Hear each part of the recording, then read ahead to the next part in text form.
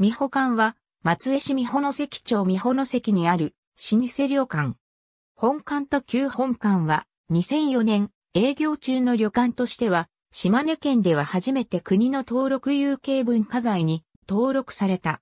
室町時代、江戸時代、明治時代と、日銭貿易や北前船交易の時代に、海鮮問屋、船宿として栄えた、北国屋、泉屋が、美保館の前身である。明治後期、海運の衰退を予期し、美保の関で、初めての本格旅館として、旅館美保館を開業し、現在に至る。本館は、明治38年着工、同41年に竣工した。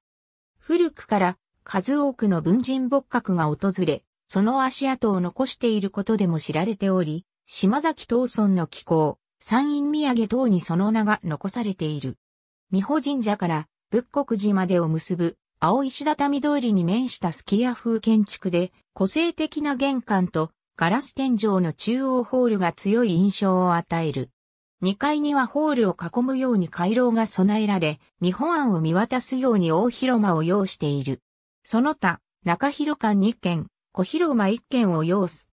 文化財の立ち見保管本館アトリウム現在は、隣接する新館にて、旅館業務を行い、宿泊客の朝食会場として本館を利用している。